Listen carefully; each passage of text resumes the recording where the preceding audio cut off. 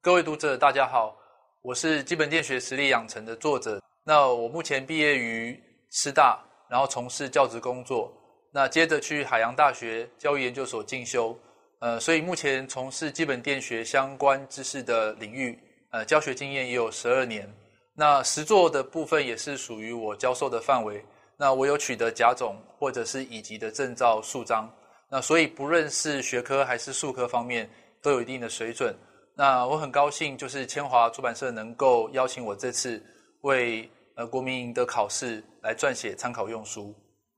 首先，针对国民营的呃有关基本电学啊相关领域的考试啊，我们做一个简单的说明跟分析。那国民基本电学的这个部分可以考试的种类啊非常多，比如说像呃台糖、台水、台电，或者是中华邮政。或者是捷运等等啊，它能考试的种类非常多，所以啊，那我现在就先以考试的题型来做一个区分。那为什么要用考试的题型去区分？就是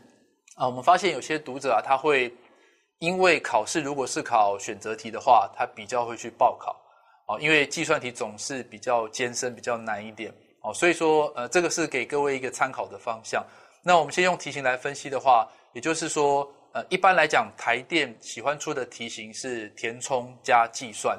哦，填充加计算。那其余啊，大多数都是呃选择。那选择题数会比较多一点，哦，而且会并入其他的呃其他类是一起考，哦，就是某一个部分这样子。那呃以选择题为主的话，当然就是说，呃，各位读者就是有比较有可能猜题的几率啦。在准备上啊，会比较容易一点。那比较容易入手，就是你在看呃我们就是参考用书的时候啊，重点也比较容易去抓。那当然在这边是希望就是各位不要去放掉呃任何一个部分。那准备周全一点的话，当然分数高一点，几率也会相对比较高一些。那本用书呃，我们这本用书啊，是希望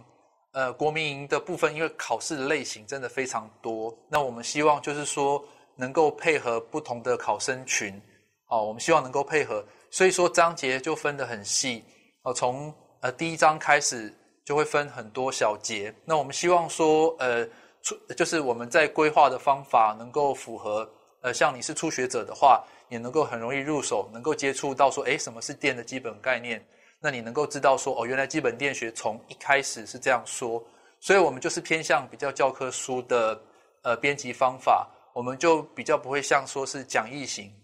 那讲义型的话，大概都是条列式的重点，哦，一张列出可能四五十个重点，那各位考生就是开始狂背，一直背一直背背，然后就是再来题目你就狂做狂写，然后这种方法或许会有立即的效果，那可能对于说像选择题的考题啊会有帮助，哦，可是如果说题目比较活用的话，那就一定会相当吃力，因为。你们只有知道条列式的重点，你们不知道说，哎，它的原理跟公式推导是怎么来的，哦，所以这部分的话就是拿捏，要就是你要拿分的话就比较不容易。所以说，呃，我们就是依照这个方法来撰写用书，就是希望各个不同的领域，或者你是第一次接触也好，或者是你是复习也好，能够很快的上手。